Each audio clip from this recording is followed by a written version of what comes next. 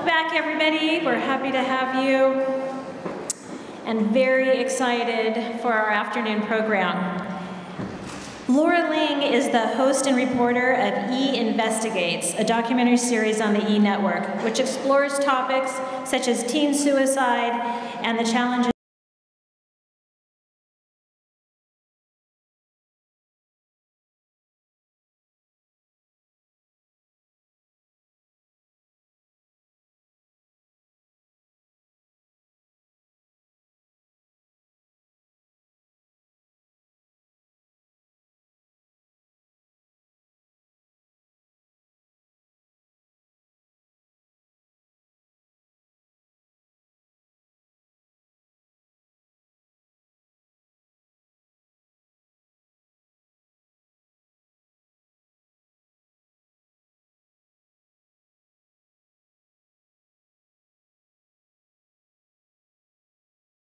For 140 days before being granted a special pardon and returning to the United States. She has since sought to shine a light on the issue of trafficked women, as well as to bring greater attention to the plight of other imprisoned journalists around the world. Laura is co author of Somewhere Inside One Sister's Captivity in North Korea and the Other's Fight to Bring Her Home, that she penned with her sister Lisa. Please join me. It's very special, and we're very honored at BIA to host Laura Ling to our stage.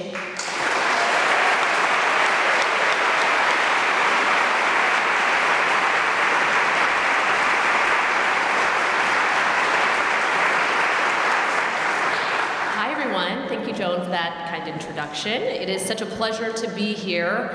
Um, in, March of 2009, I thought I might never get the chance to see my family ever again. But just this morning, before coming here, I kissed my almost six-year-old daughter and my two and a half-year-old son, the children I once thought I might never get the chance to have. And eh, speaking of my daughter, when I told her that I was going to be in a room full of women designers, architects, engineers, builders. She was so excited. She she wanted. She asked me if she could come, and uh, so so maybe one of these years I can bring her. But thank you for making me look so good in the eyes of my daughter. I, I, I truly appreciate that. It is it is an honor and a blessing to be here with you this afternoon. I do have to say it is a little odd to be known as one of the women Bill Clinton rescued from North Korea. Um, or that North Korean girl, as I'm sometimes referred to as. But if what happened to me allows me to tell the story that I set out to tell, I will gladly wear those designations. Today I'd like to talk about not only the story I was working on along the Chinese-North Korean border, but also about some of the other issues that are close to my heart. First, let me tell you a little bit about myself. I grew up in a suburb outside of Sacramento, California. It was a very all-American, cookie-cutter, pretty non-diverse community. There weren't many, uh, many kids in my neighborhood that looked like my sister Lisa and me. I would say in our high school of 2,000 or so students, there were six, seven Asians, two of whom came from the same family, ours. Um, and I just, so I just felt uh, uncomfortable and different in my own skin. And then for college, I landed at UCLA, also known as the University of Caucasians, lost amongst Asians.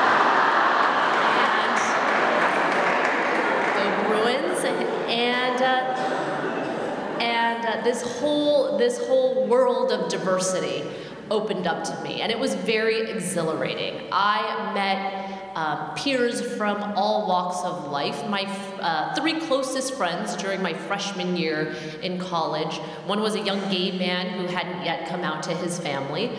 One was a conservative Christian girl from nearby in Huntington Beach, and another was a young Latino man who was the first in his family to go to college. And I think being exposed to so much diversity was one of the reasons why I wanted to pursue journalism, to travel the world, so that I could expose myself to different people and cultures and situations, and to share those experiences with others. Over the last 16 years, I have had the opportunity to travel the world working as a journalist, covering issues ranging from slave labor in the Amazon to the humanitarian crisis in Haiti to the challenges faced by military families here at home. Many of the people I have met along the way have moved and inspired me and have really shaped my worldview. One of the areas that I have been particularly interested in covering over the years has been the struggle for freedom in different parts of the world, as well as the battles that we hold within ourselves that make us feel in prison. I never truly understood what a luxury our freedom is until I went out into the world and met people who had risked their lives for greater freedom, and until I lost my own. In February of 2008, I was in Myanmar, a country formerly known as Burma. At the time, it was ruled by a military junta. Um, People were toiling to earn a dollar a day. Electricity blackouts were frequent. It cost a couple thousand dollars to own a cell phone. The internet was censored. And I visited a border town in Thailand where I met up with a group of Buddhist monks who had been participating in some street demonstrations in Myanmar, asking that their government provide them with some basic necessities like electricity. But they were repelled by armed soldiers and they watched as their fellow monks were beaten, jailed, and killed just for speaking out and now these monks were too afraid to return home for fear of losing their own lives. I asked one of the young monks if he felt nervous when he was demonstrating, and he said, Of course we were nervous because we didn't have any weapons or guns to defend us. We were just wearing our sandals and our robes. There isn't a person in this world that isn't afraid of a gun. Well, his words would come back to haunt me about a year later when I would find myself staring down the barrel of a rifle held by a North Korean soldier. Myanmar held its first free elections at the end of last year, and I would argue that those peaceful protests led by those monks was a kind of turning point because despite the government's attempt to control the media and censor the internet, images of those protests were captured surreptitiously on cell phones and made their way to the internet um, so that the world could see what was going on. And it really sparked this international outcry. And so while those monks didn't have guns to defend themselves, they had a different kind of weapon in the internet, which proved to be extremely powerful. Over the years, I have traveled to parts of the Middle East and have seen some of the different ways in which women with their heads and much of their bodies covered have been making their voices heard.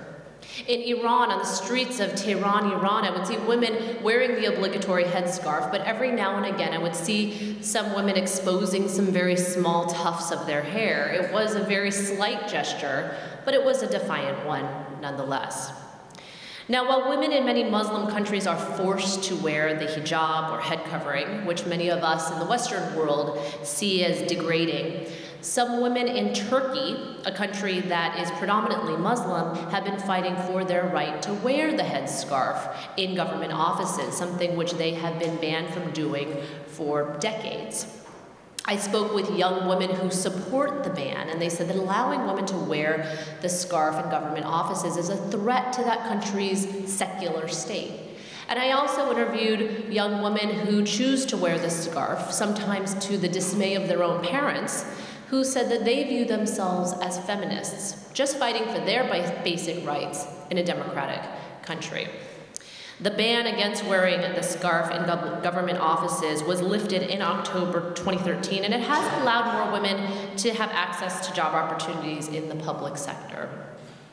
Now, I've mentioned that I've been to both Iran and Turkey, and I've actually worn the headscarf in both places. And I remember coming home without the scarf and feeling just a little bit more self conscious because for so many days I'd been covered up. And I guess I became a little less concerned about what I was wearing and my overall appearance. And then to return home to image after image in the media of, you know, ultra skinny women wearing a little bit too much makeup, having had a little too much work done, um, I, I almost miss wearing the scarf. Well, not that much, but But my point is that, you know, while forcing women to cover themselves is no doubt oppressive, I sometimes wonder if we can be a little too quick to judge.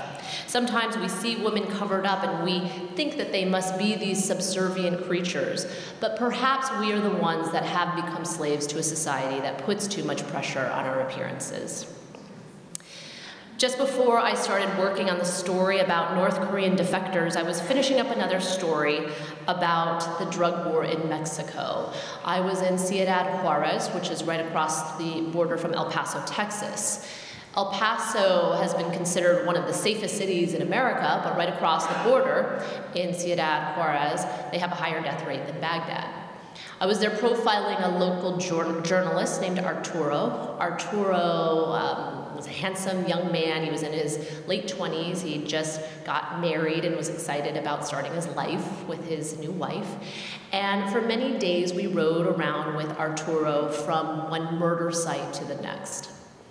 The number of and method of drug related killings in Mexico is out of control, as we all know, living in Southern California, so close to the border. Um, in, in the span of a few hours, I visited three different sites where half a dozen people had been murdered. I remember pulling up to a supermarket parking lot and seeing this shiny black Mustang with fancy rims, and it was sprayed with dozens and dozens of bullet holes. The bodies of the two young men inside were completely mutilated. It was one of the more gruesome scenes I'd ever witnessed. But people were going about things as if it were just a normal day. Shoppers continued doing their shopping, kids played about nearby. The violence has become so frequent that people are becoming immune to it. In the last few years, there have been tens of thousands of drug related murders in Mexico. Drug traffickers have been holding a society hostage, and it's also become one of the world's deadliest places for journalists. It's people like Arturo who are out there on the front lines every day risking their lives in search of the truth. Journalists know that certain stories do entail risk, but we also know that leaving issues ignored can be detrimental for us as a society, and we have to weigh those risks and take the appropriate precautions. But at the day, end of the day, anything can happen. And on the morning of March 17th, 2009, the worst did happen to my colleague, Yuna Lee, and to me. We had traveled to northeastern China on behalf of Current TV, which a, was a cable channel that was co-owned by former Vice President Al Gore. Our team consisted of myself, I was the correspondent, Yuna Lee, who was the associate producer and translator, um, Mitch Koss, who was our producer and camera person. And we were there covering a story about North Korean defectors um, people who are fleeing or being trafficked from their homeland, where hunger is widespread and where even the most basic of rights is being denied. The majority of people who defect from North Korea are women, but rather than finding safe haven across the border in China, many of them find themselves caught up in a different kind of desperation.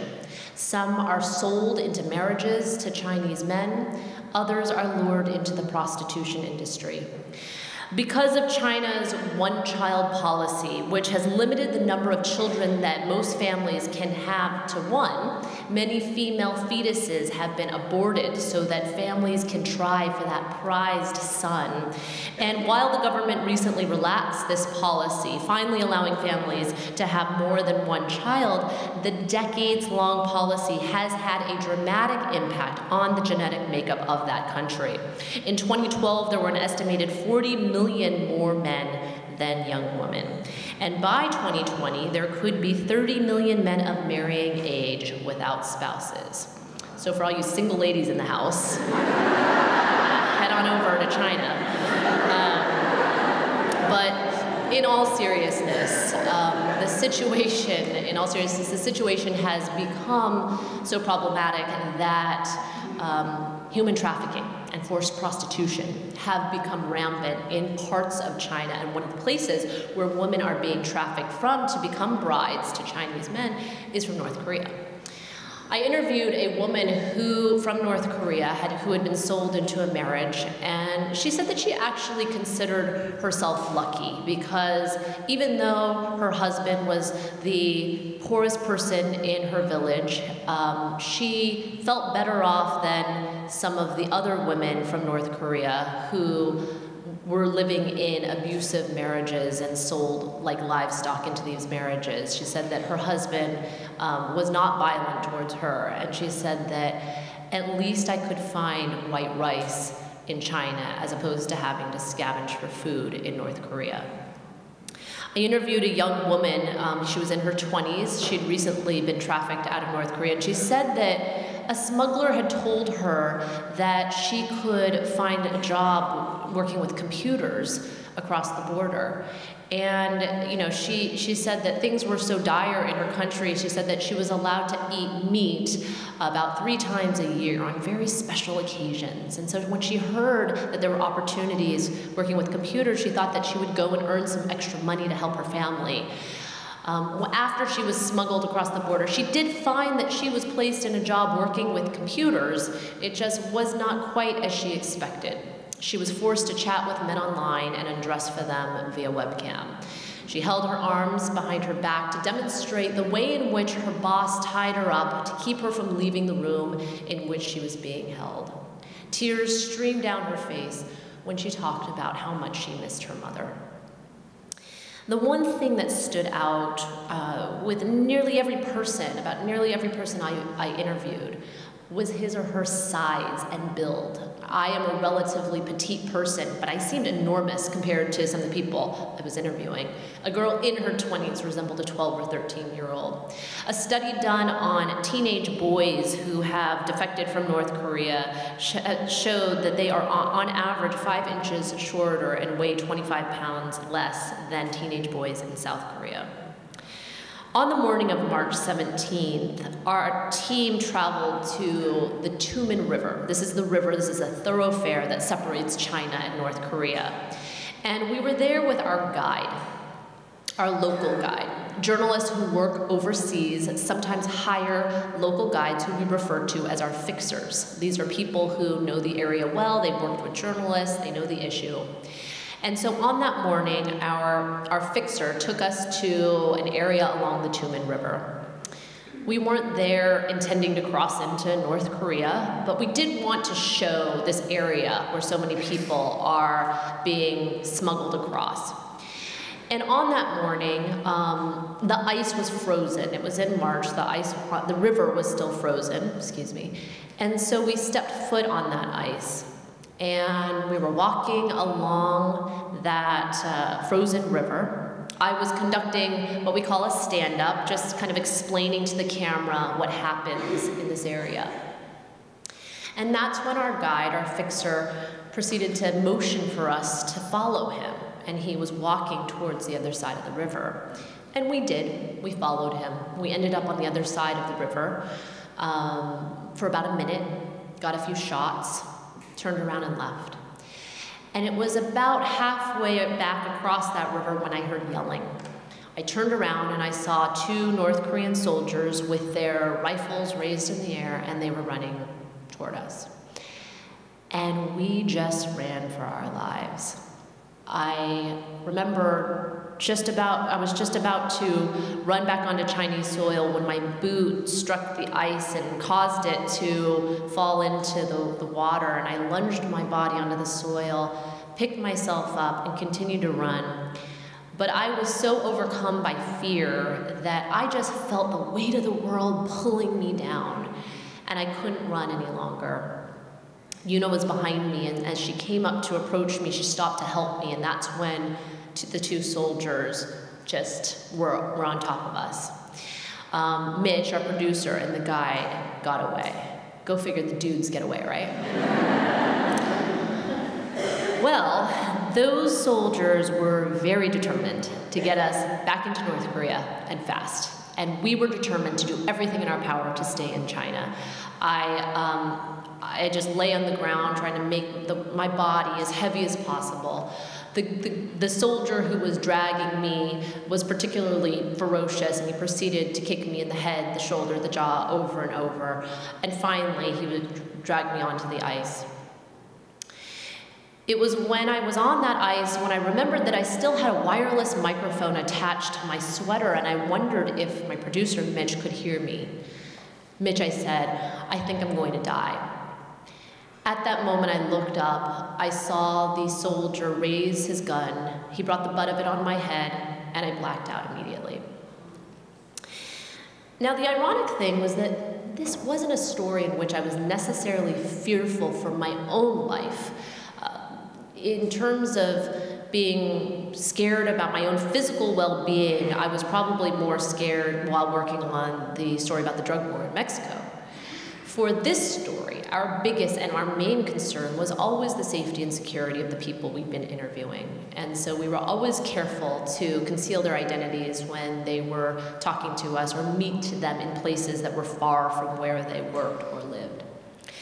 But anything can happen once you're out there in the field. Situations you could never have planned for evolve, and you're forced to react. And in that moment, on the ice, I relied on my instincts, and my instincts failed me. Some have speculated that we were set up. A paper out of South Korea alleged that the former deputy director of North Korea's state security apparatus was actually planning and orchestrating our abduction and was working our, with our guide um, to take us to that location along the river. At the end of the day, I do not want or I do not like to speculate or blame anyone but myself. It was my choice to follow our guide along that river, and what ensued was the most terrifying time of my life. At one moment, I'm a journalist reporting on a humanitarian crisis that's taking place along the border with China and North Korea that neither country wants the world to know about. And in the very next moment, I'm a prisoner in one of the most isolated countries in the world, one that viewed my own, views my own, as its enemy. I didn't know if I would ever see my family again. I didn't know if I would survive until the next day. North Korea really is this black hole. If you take a look at a satellite image of the Korean peninsula, you'll see that South Korea, which is one of the most wired, technologically advanced countries in the world, looks like Las Vegas on steroids. It's just gleaming and gleaming with lights. And then you look above the 38th parallel where the two countries have been separated since 1953, and you'll see that the northern part is pitch black. The North Korean leadership has likewise kept its people in the dark with its harsh totalitarian system, and much of what goes on inside that country remains a mystery to the outside world. On that first day of our captivity, Yuna and I were shuttled from one dusty army base to the next. And at one location, for a very brief moment, we were left alone with some of our belongings. And we knew that we had some things in our possession that would not be looked upon favorably by the North Korean authorities, including a notebook where I had written down questions that could have been interpreted as being critical of the North Korean government. And so we very nervously and quickly tried to get rid of that information. We ripped up my notes, swallowed some of them. Some I stuck in my pocket and later put down toilet. But after a few moments, the guards rushed in, they blindfolded us, grabbed and grabbed us and pushed us outside. The only sounds that I could hear were the military drills of North Korean soldiers, and I could feel them getting closer and closer, louder and louder. I could feel my heart just wanting to leap outside of my body. I thought that we were being led to our execution. That's how scared I was. But we were shoved into a vehicle and transferred to a dismal jail where we spent the next few nights. We were held in separate cells. They were five by six foot pitch black cells. I could hear the faint sounds of North Korean prisoners um, in being held in the cell next to mine. After a few days, we were transferred to North Korea's capital city, Pyongyang, and that's when Yuna and I were separated for the remainder of our captivity. And that's when the real interrogation process began. And I was grilled for hours, hour after hour, day after day.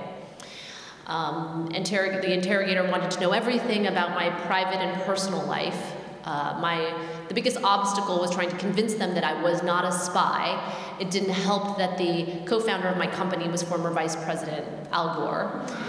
Um, at one point they asked, have you ever had anything to do with the CIA? Well, actually I'd reported inside the CIA a few years prior. And I had tried to sort of stick with the truth as much as I could during that interrogation, but when he asked me that question, I just said no. When I wasn't being interrogated, I would just walk circles barefoot around the room, hundreds and hundreds and hundreds of them until I couldn't stand up any longer. The biggest fear I had was for my family. I wondered what the stress of not knowing where I was or how I was was doing to them.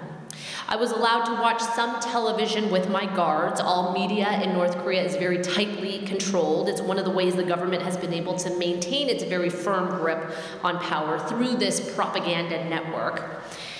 And to this day, I can still hum the tune of North Korea's national anthem that was being played every evening when the television service starts by the North Korean men's military choir. I just, as much as I try, I cannot get that damn song out of my head. Um, but aside from being interrogated and being able to watch some TV, I was totally isolated. There was no one to talk to, and I was just overcome with fear. At times, I would try to make some small talk with my guards, and every now and again, they would let their guards down, and we'd just make this little chit chat. Those conversations, however brief, just lifted my spirits. I remember one day one of my guards was sobbing. I don't know why she was crying, but I felt compelled to reach out and hug her. And I knew that I could be taking this big risk by embracing this woman whose job it was to keep me prisoner. But in that moment, I didn't care. And I reached my arms around her, I embraced her, and, uh, you know, after a few, she immediately stiffened up, but after a few seconds, I let go, a little apprehensive as to how she would react. And she offered me a very slight smile, as if she appreciated that gesture. Now, while I did want to be consoling to my guard, I really hugged her for selfish reasons. After feeling so alone and scared, just that small physical interaction with another human being made me feel more alive. Yuna and I became the first Americans to be held, uh, to be tried in North Korea's highest court, and I vividly remember that day when the judge handed down the sentence. He and his associates left the room for five minutes to deliberate before returning with their judgment of 12 years in one of North Korea's notorious labor camps. I remember the judge, um, the interpreter, interpreting for the judge, who shouted, no forgiveness, no appeal. I clutched onto the podium to keep from falling over.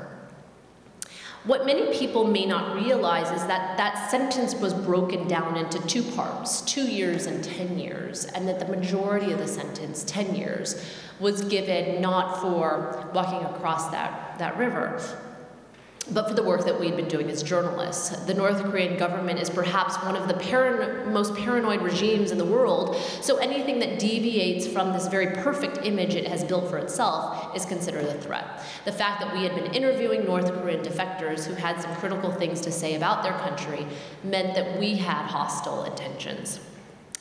My experience in the so-called hermit kingdom is filled with terrifying moments, from being beaten and dragged into the country to being threatened and interrogated to even being accused of trying to bring down the North Korean government. But I want to take a few moments and share with you all some glimmers of compassion and humanity that I also experienced. One day, one of my guards had gone home to visit her family, and when she returned, I asked if she had a nice time seeing them. And she looked down, she looked a little bit forlorn, and she said, I did, but I feel badly, badly that you could, you're separated from your family, um, that I could see mine when you've been separated from yours for so long. Another guard, after learning that I'd just been sentenced to 12 years hard labor, seemed genuinely shocked and saddened for me. I was huddled up in a ball in a corner, crying uncontrollably, and she came up to me and she said something that I'll never forget. Laura, she said, Always have hope. These are young women who were cold and mean and intimidating to me when I first met them. They looked at me as their enemy. And I looked at them as perfect models of then North Korean leader Kim Jong il's mass propaganda machine. They were always quick to spew anti US rhetoric, and they spoke about their leader as if he were this otherworldly godlike figure. But I mention these moments because I do think that they are a testament to what can happen when people from enemy nations or really opposite ends of a spectrum get a chance to interact and communicate. Our perceptions of one another can grow and widen. If we only take that chance to engage with those we consider different, we might find out how much we actually have in common. During those 140 days, there were many breaking points and many turning points, lows followed by highs, lows again, sometimes just this feeling of numbness. I know that it was the same for my family who was worried here at home. And I would be lying if I said I never contemplated taking my own life. Sometimes I did find myself in the darkest and loneliest of places from which I might never be able to escape except by ending it all. I now know what a horrible mistake it was to even consider such a thing. In my heart, I did know and believe that my family would never give up trying to bring me home. And one of the biggest comforts that I had during that time were the letters that they sent. And I was fortunate to be able to receive letters every now and again. I read and reread each and every letter. I memorized each and every word. Uh, my father is not a very verbose guy, but just reading those words, Daddy loves you, would warm my heart. My mom would send me Bible passages, uplifting quotes, and meditation techniques. My husband is a pretty introverted guy, um, but he poured everything he had and every ounce of love into those letters to me. They truly were my oxygen. My husband and I developed a kind of meeting time where at 9 a.m. in North Korea and 5 p.m. in Los Angeles, we would look outside our respective windows and think about one another. He would scan photos of himself sitting at our dining room table where he would write to me so that I could envision him in that moment, in that place. My sister's letters were a little more strategic. My sister Lisa is a journalist, and she knew that I wasn't the only person reading those letters. In fact, sometimes the letters would arrive with coffee stains on them. So I don't know how many eyes perused them before they got to me, but I'm sure that it was many. Uh, and Lisa was, knew this as well. In her letters, she was always trying to express messages of deference and respect to the North Korean authorities. And I think that her strategy worked because eventually I was allowed to make a few phone calls home, specifically to try to tell my sister what I thought was necessary, going to be necessary, to get us home. The difficult part was that the North Korean authorities would never tell me outright what it was that they wanted. And so it really was like just trying to decipher this puzzle and hope that I was right. After, some, have some people have commented on my sister's unrelenting will and determination to get us home. Her response is, You would do the same thing if it were your brother or your sister, your son or your daughter. After several discussions with the North Korean authorities, it became pretty clear to me that the only person who would be seen as an acceptable envoy to secure our release was none other than former President Bill Clinton. And so, can you imagine calling your sister and saying, Hi, Lisa, do you think President Clinton can come to North Korea to rescue us? It was, that was actually one of the lowest points in my captivity because I truly did not think that somebody of President Clinton's stature would be approved to make such an unpredictable journey. And so from that moment, I began to really prepare myself mentally to spend a lot of time in North Korea. But a few weeks later, um, it was the beginning of August, Yuna and I were suddenly reunited, and we were taken to a hotel and we were told that we were a very important envoy had just touched down in Pyongyang, and that if his visit went well, we might get to go home, and if it didn't go well, we would not go home. We weren't told who this envoy was, just that it was somebody who I had requested. And I had made a few other requests in addition to asking for President Clinton. One of them, in fact, was Arnold Schwarzenegger. Um, but being the, at the time, the governor of California, my home state, I thought that that might make sense. And also because despite North Korea being one of the most closed off countries in the world, where people have very little access to information from the outside world, it was believed that then leader, North Korean leader Kim Jong il, was a huge movie buff and that he had one of the biggest movie collections in the world. So I thought maybe a visit from the Terminator might secure our release. So we were at this hotel and we were ushered down this dark hallway. It was lined with about a dozen North Korean security agents. They were stone faced, looking down. And at the end of the hallway, um, I spotted a bald American wearing an earpiece. It was a US Secret Service agent, and I immediately felt the presence of my country before me. After that, these two double doors opened, and there standing before us was President Bill Clinton.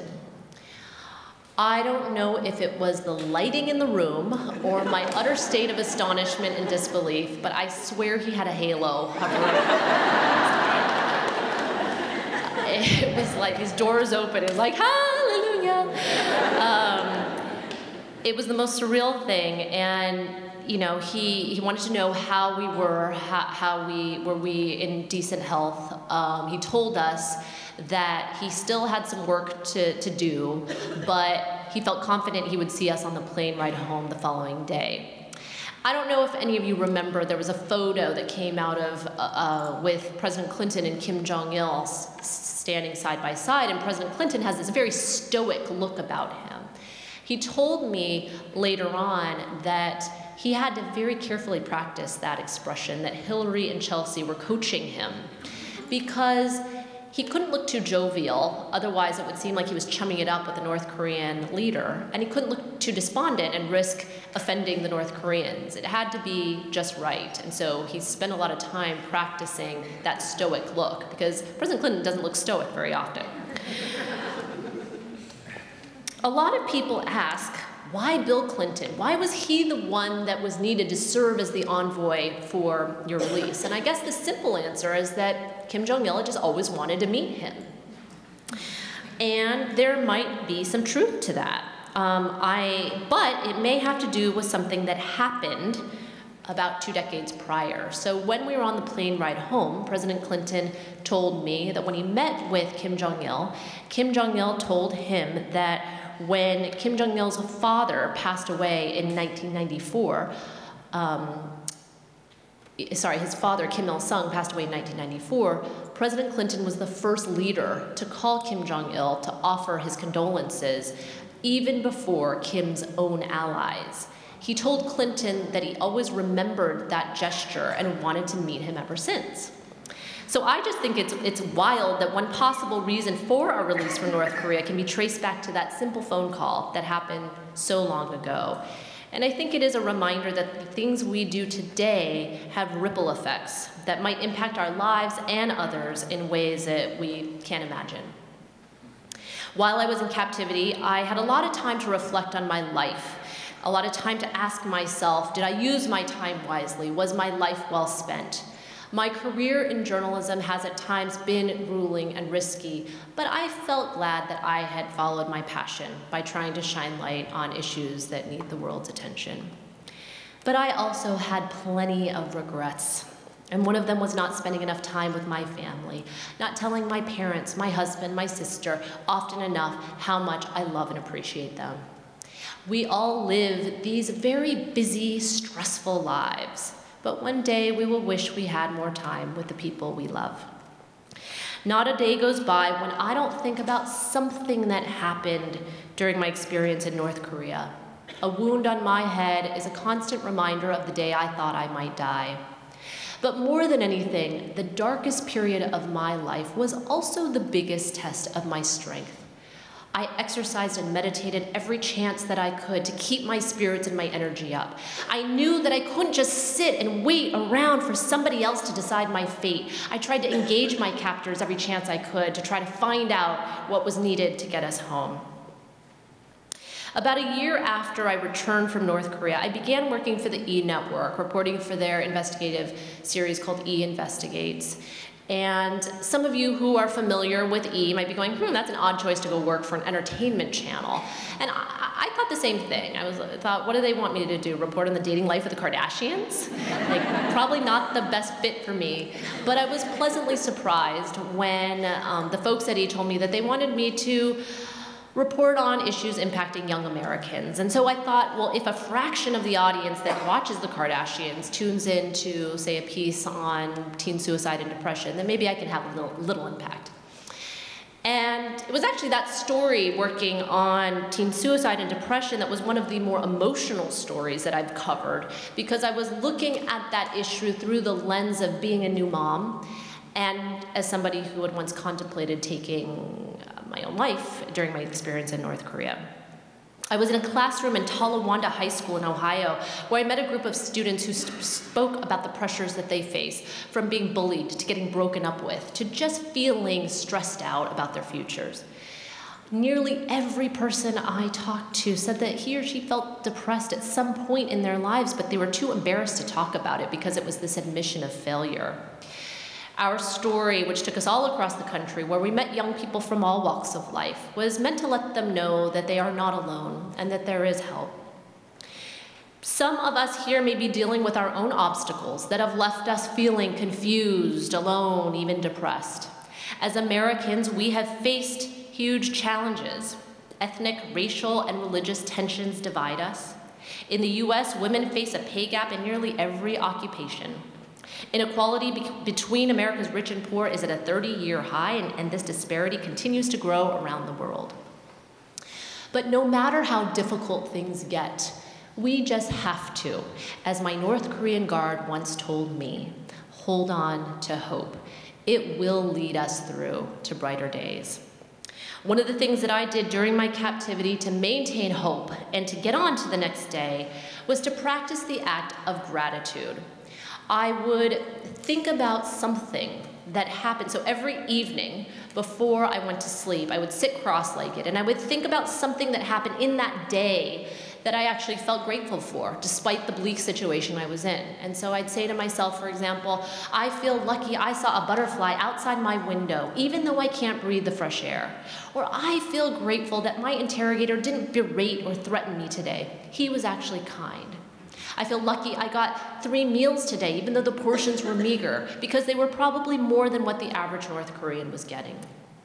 Thinking about these small things allowed me to get on to the next day, and it's something that I continue to do to this day. I find that it can bring a sense of not only peace, but of purpose. And so this evening, I will express my thanks and gratitude for being able to be here with all of you today. People wonder if I'm scarred, whether I suffer from PTSD. I get the occasional nightmare, the occasional panic attack. But more than anything, I can't help but just recognize how incredibly lucky I am to be home and to be free. And so I can only look at each new day as this precious little treasure. I want to do things that have meaning. I want to make my children proud. You all should be very proud of the work that you are doing as women in the building industry. While you are literally building foundations for a better society, you are breaking down barriers in what has long been regarded as a male dominated field. Plain and simple, as my daughter told me this morning, you ladies rock. and the few men in the room are pretty cool too.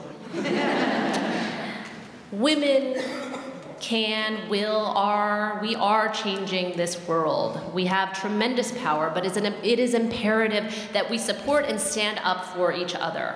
Oftentimes, I think we women look at each other as our worst enemies, our fiercest competitors. It is so important that we stand up for each other. We have a duty to not only ourselves, but to other women. Otherwise, we all suffer. Every one of us here in this room has the ability to make a positive difference in our communities and in our society. As President Clinton demonstrated in that phone call to Kim Jong il, even the smallest actions can have a huge impact. They can change lives, they can save lives. The people I have met over the years, from those fearless monks in Myanmar who rose up against a brutal dictatorship, to women in both Iran and Turkey speaking out for their rights, to journalists like Arturo who continue to do their jobs despite being the target of violent drug cartels, to young people who have experienced suicidal thoughts but are now helping others get through their struggles, to the brave people of North Korea. These are these are heroes to me whose stories have taught me about courage and strength in the face of adversity and about the value of freedom that too many of us take for granted. Our unalienable right, our freedom, is a non existent concept for others. Some risk their lives to experience the liberties we enjoy, others will never know what freedom is. And so I ask you, how can we truly take ownership of our liberty, to seize it and value it, not just as a basic right, but as a responsibility? I would like to close today by uh, reciting a excerpt from a poem that I recited to myself nearly every day of my captivity. Some of you here may be familiar with it. It's from the late great Dr. Maya Angelou. The caged bird sings with a fearful trill of things unknown but longed for still, and his tune is heard on the distant hill, for the caged bird sings of freedom. There are too many people in this world living as caged birds, living in countries where they're unable to express themselves freely, where criticizing their government could land them in prison, where they don't have the right to vote. To people who are going through their own personal tragedies, who feel caged in, trapped, and alone. I urge you all here to cherish your freedoms and to be a strong voice for those who need one. Thank you all very much.